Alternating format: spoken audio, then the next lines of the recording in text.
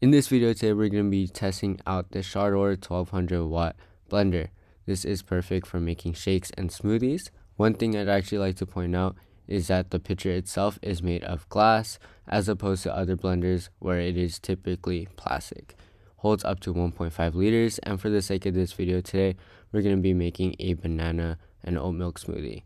And so yeah, I'm going to go ahead and throw it on here and I'm going to show you guys how it sounds like.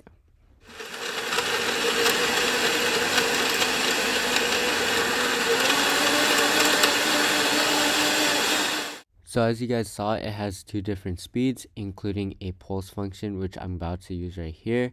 So it is super simple to use, um, very easy to lock onto the actual blender itself from the pitcher, and makes amazing smoothies. So this is how I came out like.